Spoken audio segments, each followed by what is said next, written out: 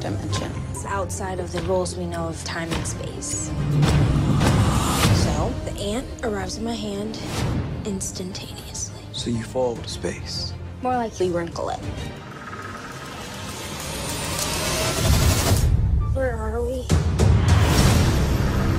We heard a cry out in the universe. My father's alive. We believe he is, and we're here to help you find him.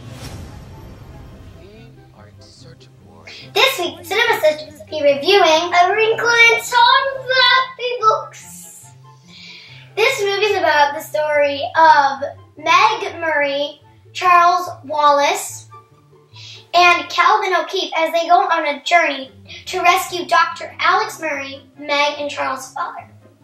It's a dangerous mission, and it's also to stop the it from spreading. There are three witches in this story. These witches are part of the galaxy. Um, they pretty much live in the stars, and they're like billions of years old. They don't look like old grannies.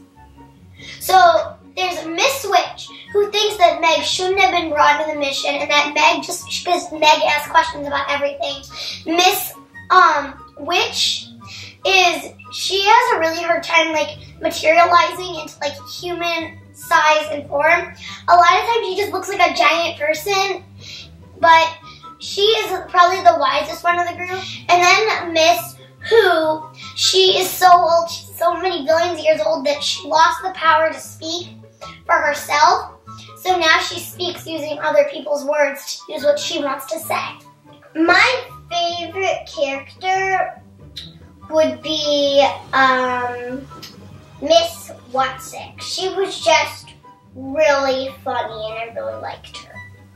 Uh, my favorite character was Calvin because I think that he's really a key part in the story. Even though he, he didn't really know Dr. Murry, he still went on the mission. I recommend this movie for ages six and up. Um, it was just mostly um, funny and um, nice, but in some parts it just got a little sad and scary.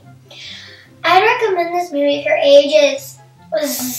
This is going to sound really weird, but six and a half and up because um, th- there are some parts that could be a little scary, like the man with the red eyes. So you didn't like that man, but there, but it's a really good movie and it teaches you a bunch of lessons. Like you have to like yourself to be able to change the world. You can't change the world if you don't like yourself. You have to appreciate who you are and everything that is cool about you. There were a lot of differences from the movie to the book, but the, still, the essential parts of the story were still in the movie. Like where um, Meg finds her father, where Charles Wallace is um, taken over by the man with red eyes and gives in to the it, where um, Meg meets Calvin and they become quickly friends. I would rate this movie five, mostly the popcorn, but half, five and a half. Five and a half. You can't do five and a half. Five and a half popcorns because it was just really well acted and cool and mystical and um very fancy and I like fancy.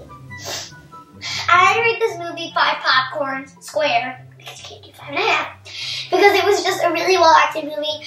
It was super super good. Tune in next week when we review another movie. And um, if you'd like to contact us, please visit us at info at cinemasisters.org. And um, if you'd like to subscribe to our YouTube channel, go to YouTube and type in Cinema Sisters. And we hope you have a lovely week. Goodbye! You really need to watch out for those flappy books next time. Otherwise, they're going to hit you. And you don't want that to happen. Otherwise, you're going to a witch. Actually, that would be kind of fun. By the way,